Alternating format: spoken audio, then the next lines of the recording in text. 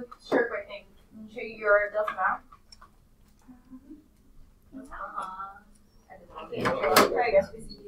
I have eleven missing Yeah. documents. There we go. We did not get our fifty percent. The percentage is going up, so I know more of you are doing it, That's but awesome. not enough. So more of you need to do your work. Here's the other one. You did it. Okay, So again, the percentage went up, but not fifty percent. So many of you are missing delta math. So if you're not retaking, you're going to be doing that today. She said that. Okay, on the shark bite, which numbers do we want to see you go over? Have questions about three? Any others? Okay. What do you mean? Oh, there's more on the back. Do four. Just those two. We'll start with three.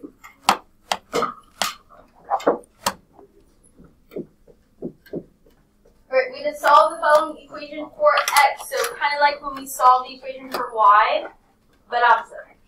So you're gonna get x by itself. Get rid of the y term by adding it to the other side. Whether you put 8 plus 4y or 4y plus 8 doesn't matter. And then, because each of these, guys, stop talking. Each of these can be divided by 2, divide everything by 2. So that x equals 4 plus 2. Question on that?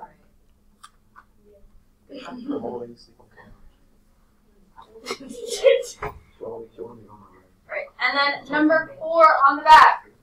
I'll give you a second. Some of you are still writing.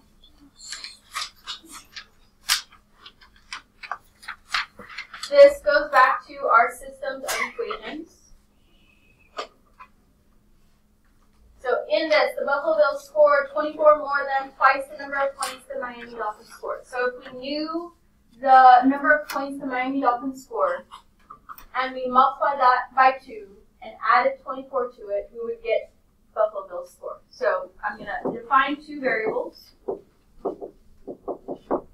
and say this is the number of points for each.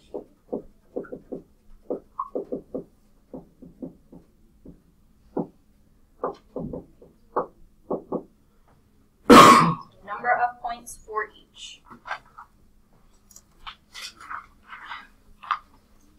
Then in this first part, so I didn't highlight or underline anything, but I'm gonna do that Score 24 more than twice the number of points, and altogether they scored 66 points. We're looking for how many they scored individually. So you need two equations. One is going to be everything in yellow. E equals 24 plus 2 times m.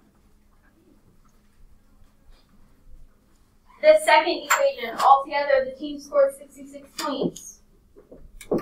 So we know it's going to equal 66.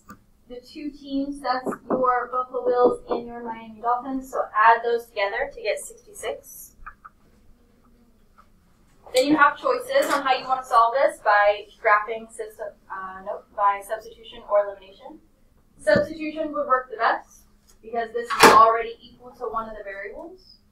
I'm going to take this and put it in for B and rewrite it as 24 plus 2m plus the m that was already there equals 66. Then I'm going to solve this for m, combine like terms.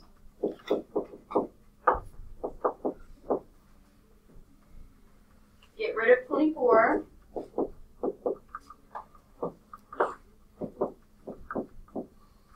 3.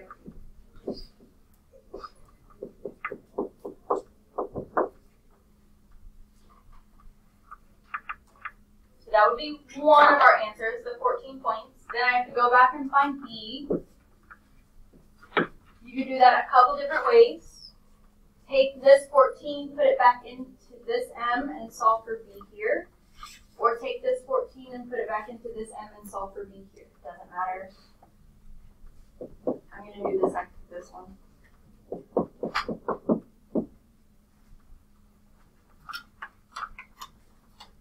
So that when I subtract fourteen on both sides, E equals fifty-two.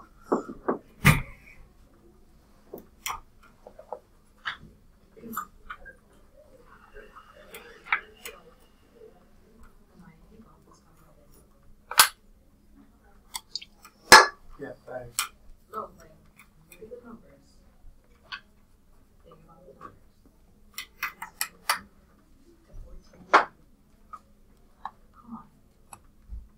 They lost pretty bad.